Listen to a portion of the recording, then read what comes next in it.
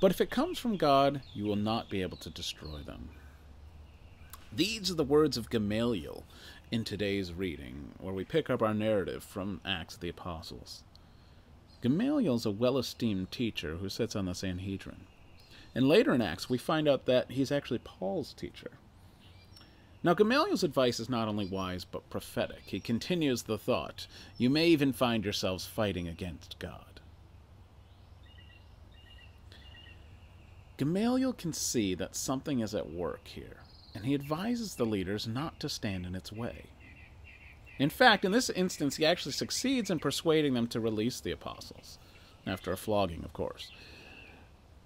Now, as Christians who are striving to do God's work, Gamaliel's wisdom should give us confidence. The gist of his message is this If this Christian movement is the work of human beings, it will disappear on its own. But if God is the one behind it, there's no stopping it. And indeed, God is behind the work of evangelization that we strive to do in the church. Now, if it were all up to us, we would fail miserably. But since God is behind it, the message of the gospel cannot be stopped, and we should have confidence in that.